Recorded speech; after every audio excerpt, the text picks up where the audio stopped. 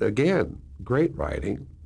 The Ravetches, Irving and Harriet, wrote a beautiful, beautiful script. And of course, I got Marty Ritt directing and Sally Field to work with. I couldn't go wrong.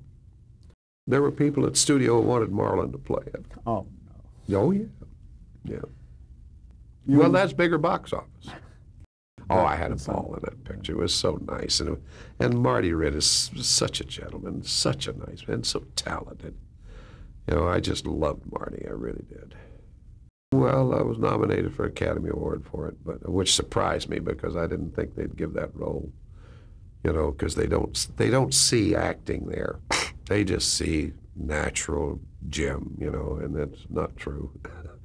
That's the thing about me and my whole career. People don't think I act. They think I just am what I am, you know, and that's it. They don't know how hard I have to work to do what I do and make it appear like I'm not acting, because that's what I, I don't want anybody to catch me acting. Actors climb scenery and, you know, do all that. You know, I'm not an actor, I'm a reactor.